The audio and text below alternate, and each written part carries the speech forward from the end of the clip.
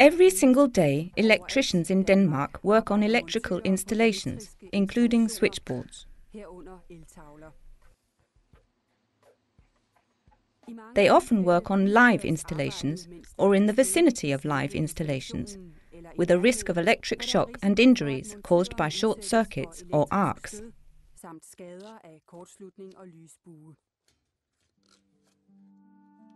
Statistical data from the Danish Safety Technology Authority show that the number of accidents resulting from work on switchboards has slightly been decreasing over the last years. However, these numbers also indicate that there is a slight increase when we discuss the category of accidents where the live working regulations were not observed. The consequences are often severe due to the fact that protective gear was never used during these types of accidents. Burns on hands, arms, shoulders, neck and face.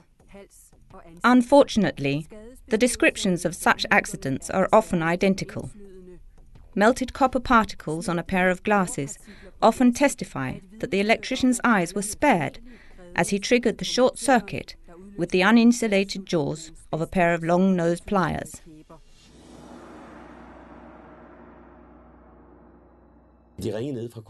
They called from the office in shipping and said that the lights were out. I hurried out the door, and when I reached the switchboard, I could see that a fuse had blown. There was a little dirt on the contact in the bottom of the fuse holder, which I removed with the screwdriver. I admit it was thoughtless. There was a sizzling sound, then a large bang, and the next thing I heard was the office manager, who yelled if I could hear anything. He told me that I was black and burnt in the face, so he wanted to take me to the doctor. The doctor who saw me rushed me off to hospital right away. As he said, there was something in my eyes. With sirens and police escort, I was rushed to the hospital and I realized that my sight was in danger. I spent a long time in the operating room where the doctors removed copper from my corneas. The doctors never promised anything, but already the next day I was recovering and my sight is now slowly getting back to normal. I was lucky. efterhånden er normalsyn igen. Heldigvis, vil jeg sige.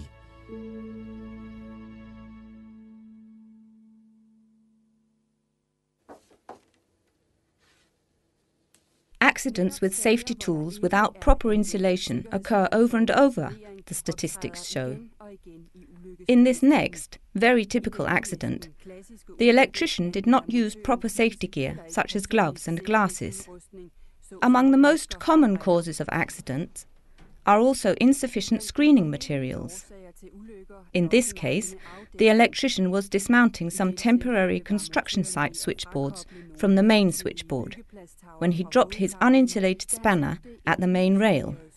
This short circuiting accident, whereby he was seriously burned, could have been avoided had he only used safety tools and made sure the proper screening material was in place. Quite a few accidents occur during metering and troubleshooting on live switchboards. These pictures are from an accident where the electrician used a measuring instrument with a maximum capacity of 700 volts AC, but there was 900 volts AC on the site. The result was a short circuit and an arc, which caused burns on the electrician's face and hands. Pressure, and a lack of common sense may have disastrous consequences. In a case where the electrician was about to install an emergency generator at a farm, he felt convinced that there was no voltage on the system. The electrician never carried out a control measurement, and it did cost him his life. The consequences are rarely that severe, but the physical consequences of an electric shock are actually quite critical. When professionals are involved in accidents, they often know what went wrong. However, sometimes they cannot react appropriately or do not understand the consequences. We have to be careful when people have burns. We do not want to miss the internal burn injuries or effects of the shock, because often the visible changes that occur after an electric shock are quite limited. There may be a tiny entry hole and a small exit hole, and if you're not paying attention, you may not discover the internal injuries. Even if we cut the patient open, often the skin seems fine, but we have to open up to large areas of the body, or on arms or legs, to relieve the pressure underneath the muscle, to make sure the blood supply continues. So, the best case scenario is that you end up with scars from the cuts. The worst case scenario is that you lose parts of the skin, an entire hand or foot. But of course, we do everything possible to let the patient keep as much as possible. However, the damages we see are often severe. The muscle may simply have been boiled due to the generation of heat. The Danish Safety Technology Authority recommends consulting a doctor in case of strong electric shock. In the Danish Heavy Current Regulations, Section 6, Electrical Installations, applicable from June 1, 2001, and with binding effect from January 1, 2003, it is stated that in general it is permitted to work on live or on dead switchboards as long as the rules of the heavy current regulations are observed. The rules also include work on installations and machines. In principle, there are three different methods installations that are neither live nor charged, or installations where precautions have been made for electrical danger, or installations where the electrician is in contact with live parts, either by his tools, equipment, or parts of the body, or finally, work can be performed around voltage areas where the electrician with his tools, equipment, or parts of his body gets into the vicinity zone. It applies to all three methods that precautions must be taken for electrical shock, the effects of short circuits, and arcs.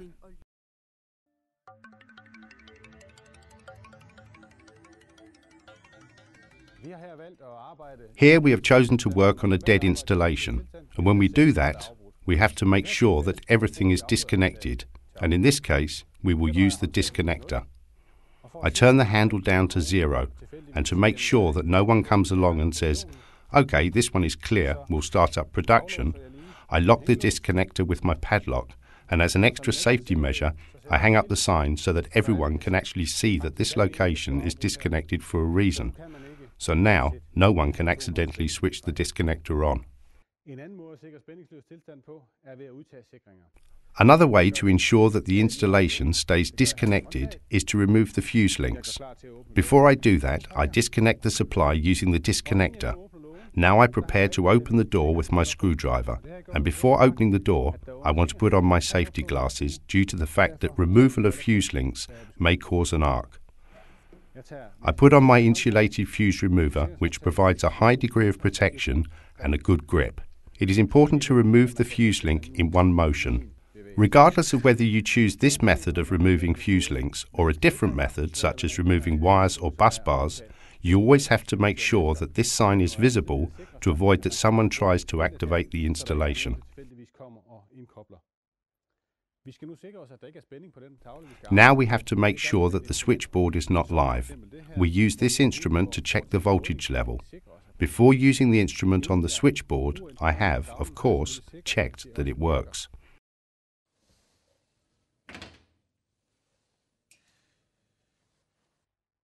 We want to make sure that the installation is dead, and I choose to use gloves and glasses to reduce the risk of touching live parts and to avoid injuries by arcs.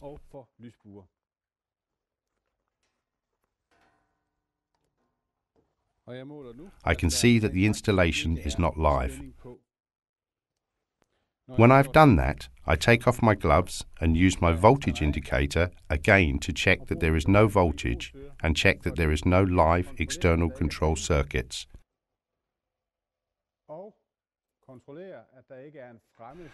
That is not the case here.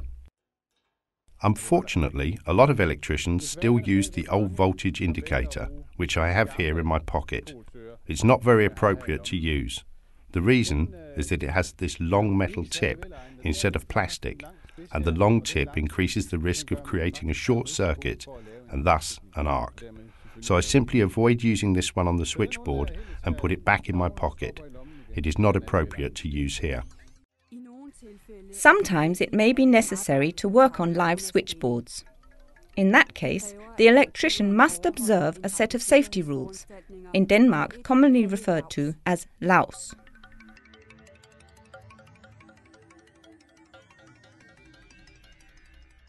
Before working on the live switchboard, we want to make sure that our protective gear is secure. The first thing I do is remove my rings and my watch. When I've done that, I want to make sure that I wear the right clothes. The right clothes could be working clothes such as mine, which are particularly suitable for high temperatures and are made of fire resistant material. Of course, it is also important that you do not wear synthetic materials underneath, as they may burn or melt easily. I put on my helmet, and now you could select either a face visor or glasses. In this case, I have chosen glasses because I like them better. I also want to wear gloves, and first I put on my protective gloves, my rubber gloves, which protect me from electrical shock. And on top of those, I put a different pair of protective gloves to avoid damage to my rubber gloves. Now, some would say that it is a lot of trouble with all this safety gear, but remember that if you work without it, it is your life that we're talking about. We also want to use an insulating mat, a stepping mat that we can stand on, and it is important that you choose a sufficiently large mat of not less than one square meter. It has to be skid proof on both sides and at least two and a half millimeters thick.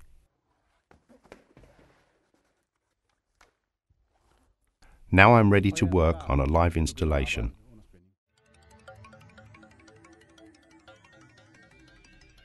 When replacing an RCD such as this one under voltage, we have to make sure that there is no possible contact to any of the other voltage potentials present in this switchboard.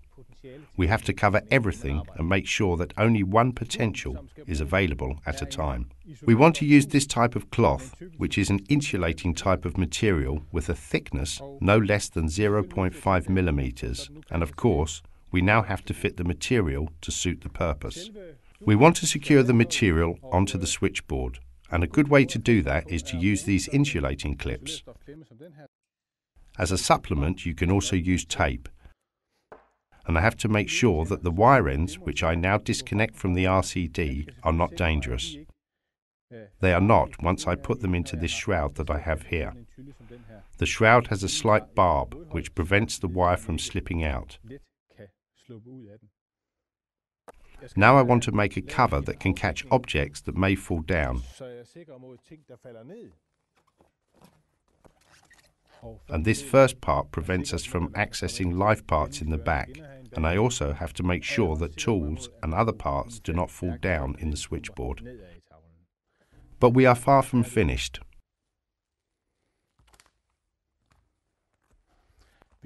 We also want to insulate other parts such as here. On the switchboard side, where we want to avoid that a phase conductor or a neutral wire hits the frame of the switchboard.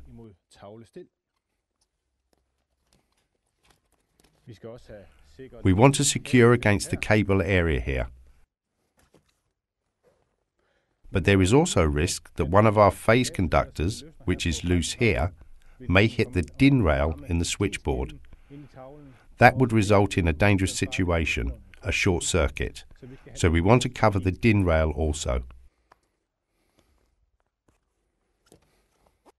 We are now at the point where we only need to cover the area between the multiple switch unit here and the RCD. So we'll just put a piece of screening material here as well.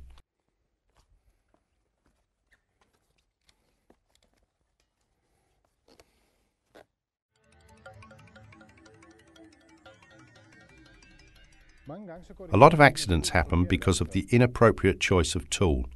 We have chosen a screwdriver which is marked with two triangles on top of each other and 1000 volts. So this is a suitable screwdriver.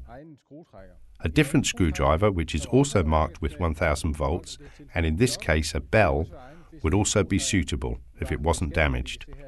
We can see that there is a defect in the insulation layer, so we'll put this one away, it is not suitable. We also need a pair of long-nosed pliers to hold the wires inside the switchboard when we apply the shrouds. This one is marked with two triangles and 1000 volts, and is completely made of insulating material, which makes this a suitable pair of pliers. Now this pair of long-nose pliers is also marked with 1000 volts, so why not use it?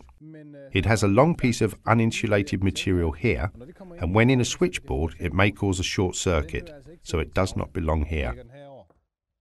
Here is a pair of side-cutting pliers. The side-cutting pliers are also made of insulating material and are marked with two triangles and 1000 volts. And we can see here that the jaws are also made of insulating material, which makes it suitable for use on the switchboard.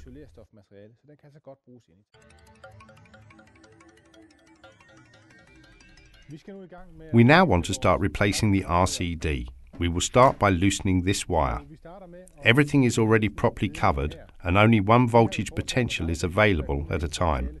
And we have also covered other live parts and conductors to the RCD. I'll take my screwdriver and my pair of long-nose pliers and prepare to loosen the wire.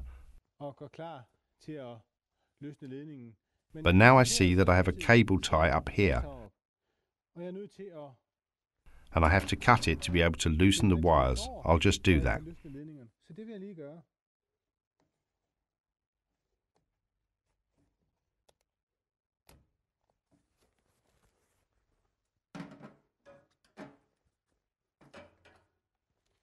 Now I can loosen the wire.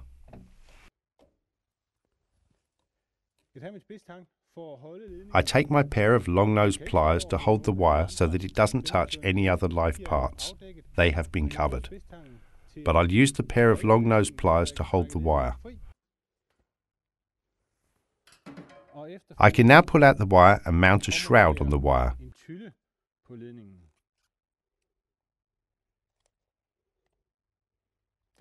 It has a little bit of resistance due to the barb on the shroud, and by putting the wire well into the shroud, the barb has a good hold and the shroud does not easily come off.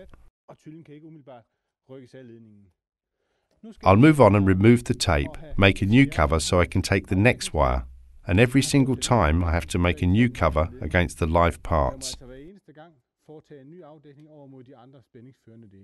It is a slow process, but it is necessary, and always remember that this is a risk to your life, so there are no easy shortcuts.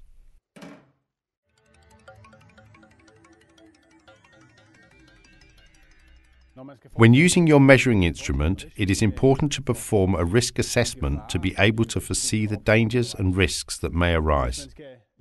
If you measure voltage over a long period of time, or if you want to determine the existence of a short circuit, it is important that the voltage probe is properly attached. Actually, it is now possible to buy probes particularly for this purpose. Here is a probe particularly suitable for use on a bolt.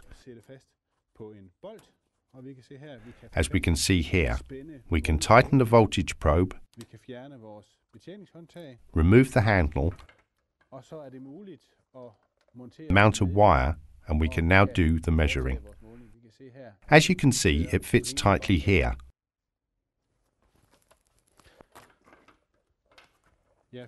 I'll remove the probe again and try to find a different type of probe. Here is one where we can see that there's only a tiny area of metal in the bottom. Everything else is of plastic. This way we can eliminate the risk of causing a short circuit. I will try to connect our measuring instrument to the switchboard. And we can see that I can put in the probes to ensure a good and safe metering.